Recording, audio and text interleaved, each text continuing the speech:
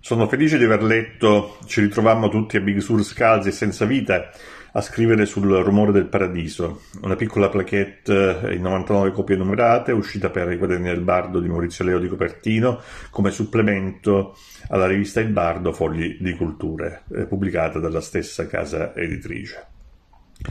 La prefazione di Alessandro Laporta che eh, ci dà un ampio spaccato su quella che è la visione poetica di Maurizio Leo finisce con una frase shock, ovvero Jack Kerouac e Maurizio Leo. E non sbaglia perché Maurizio Leo in suo, tutta la sua strada eh, poetica, tutta la sua strada diciamo di creatività per versi, eh, ha assorbito in maniera totale tutto quel genoma eh, di, eh, di, prospettiva poetica di Ginsberg, Burroughs, Kerouac, Gregory Corso e ne ha fatto un distillato veramente incredibile.